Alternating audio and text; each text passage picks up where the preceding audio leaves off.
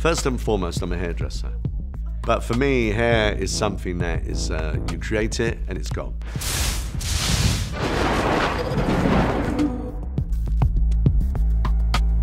Over the years, me and Anthony have talked quite a bit about one of the sort of haunting truths of hair as a creative medium is that it's so vulnerable to elemental forces. A Bit more to the right, forget her.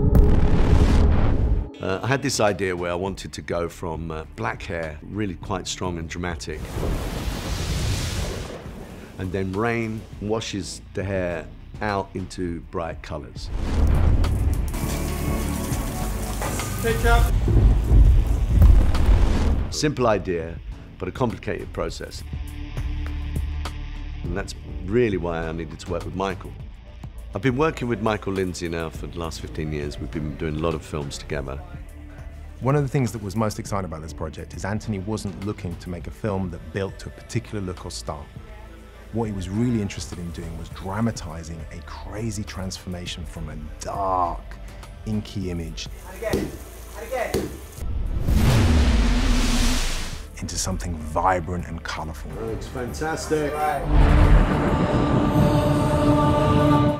And this, from a sort of hair point of view, it's, it's not really possible to go from black hair to bright, colorful hair.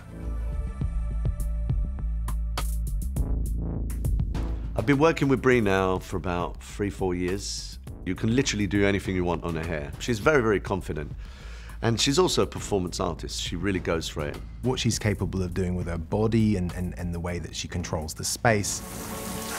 Oh, that's brilliant. Brendan. She gets it. She understands. She knows how to make it look great.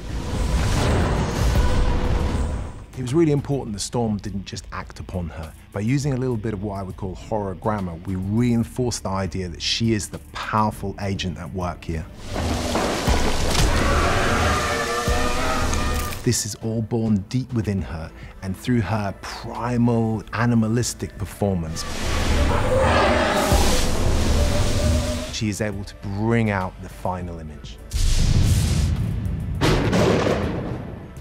I'm a photographer. In the past, what's frustrated me is that we do the stills and we do the film. We don't always capture the same thing. Now we're at a stage with 8K that with the film, you can then capture those moments of stills all the way through.